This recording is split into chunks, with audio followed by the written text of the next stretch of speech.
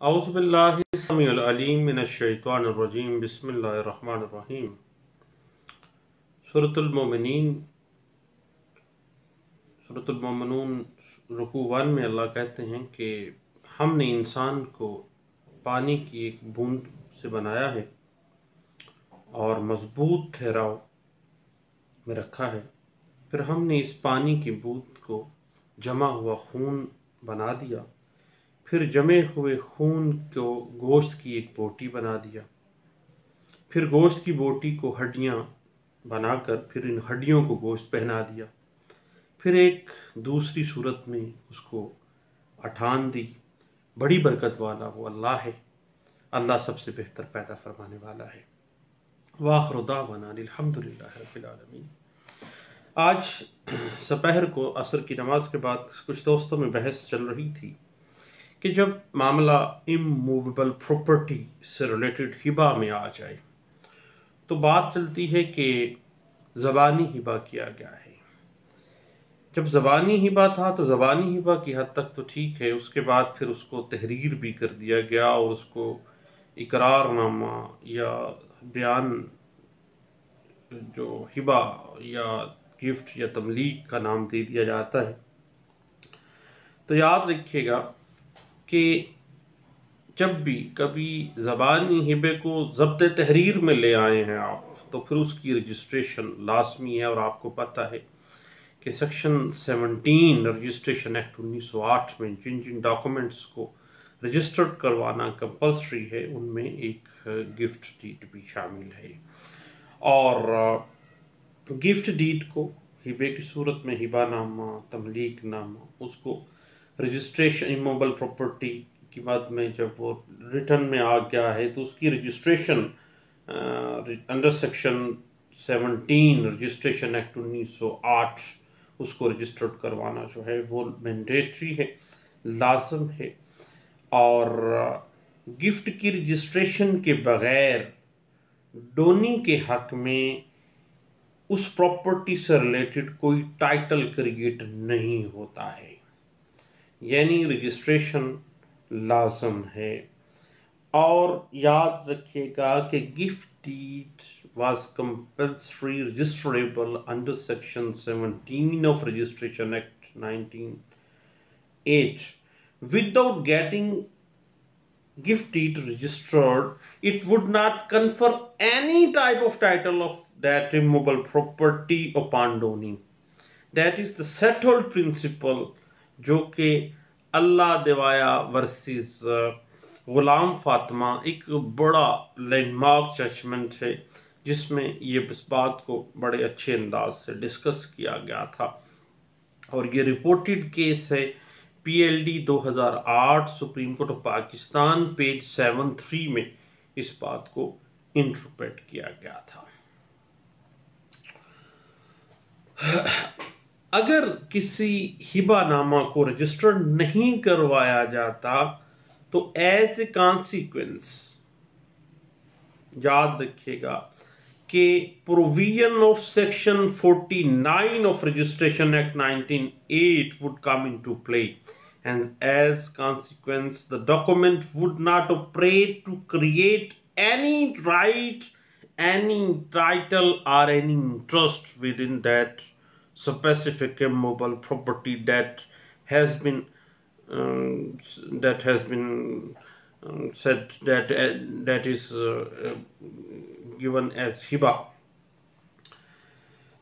and doni has no right, no title, no interest, whether vested or uh, contingent in the property. No any type of vested right or any contingent right in the property. If not registered under section 17, that is the compulsory, compulsory obligation registration act 1908 section 17 कहता है अगर नहीं registered किया जाता तो section 49 register registration act 1908 की consequence भुगतने पड़ेंगे और वो जो जो भी मामला है जो आपने रिटर्न किया है वो किसी किस्म का कोई किसी किस्म का कोई वेस्टेड राइट कॉन्टीजेंट राइट कोई इंटरेस्ट कोई टाइटल क्रिएट नहीं करता है। इस हवाले से 2010 से C M R page three four two Mohammad Ijaz versus मसम्मत Khalda ईवान जो एक लैंडमार्क जजमेंट है, इसमें इस बात को इंटरप्रेट किया गया था।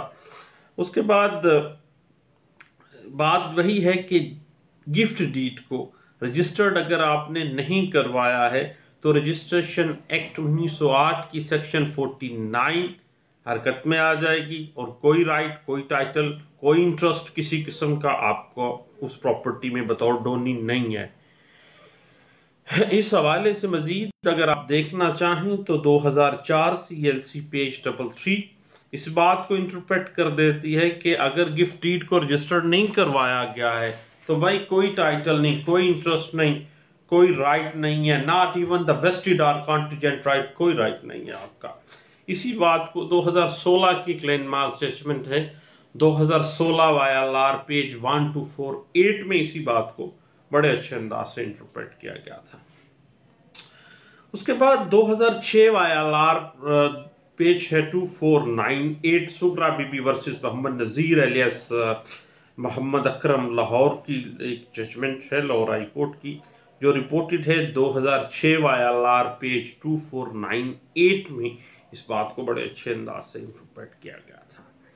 जहाँ तक मामला आ जाता है मोहम्मद अल्लाह का तो हम लोग ले आते हैं यूपी में जब फड्डा पड़ जाता है तो बतौर सिविल वकील हम आ जाते हैं जी, section 167 Mohammad Allah by D F Mulla.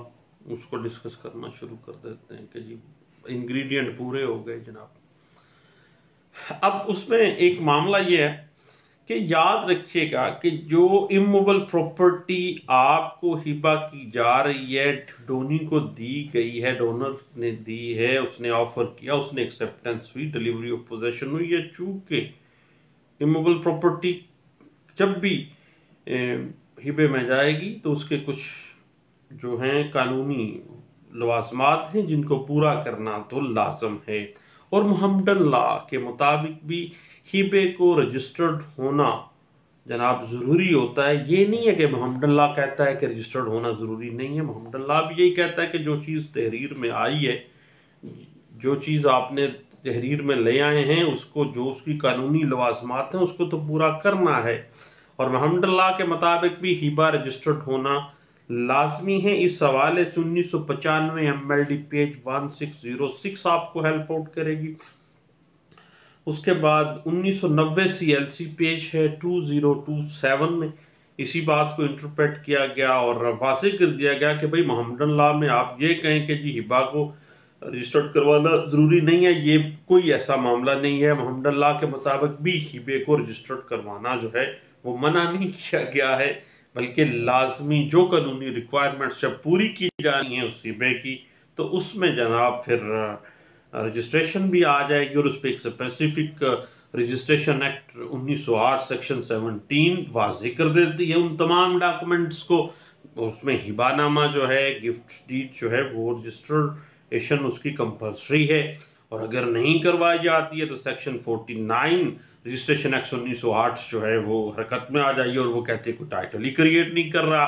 जो भी तहरीर आपने की है, कोई हिबा नहीं है। और इसी हवाले से स्पेसिफिकली मोहम्मद अल्लाह के हवाले से इसमें डिस्कशन की गई थी कि जब भी हिबा लिखा जाता है तो उसमें तमाम जब ingredient offer acceptance and delivery of possession के with specific date with specific time with specific sitting और विद स्पेसिफिक गवाहान उनके सामने जब वो होता है तो जो कानून की रिक्वायरमेंट्स आएँगी, उनको भी पूरा करना लाजमी है। और चूँकि इमूबल प्रॉपर्टी का जब भी हिबा आएगा तो स्पेसिफिकली जो ट्रांसफ़र ऑफ़ प्रॉपर्टी एक्ट भी यही कहता है मोहम्मद अल्लाह भी इसी बात पे इंसिस्ट करता है तो उसकी रजिस्ट्रेशन लाजमी हो जाएगी।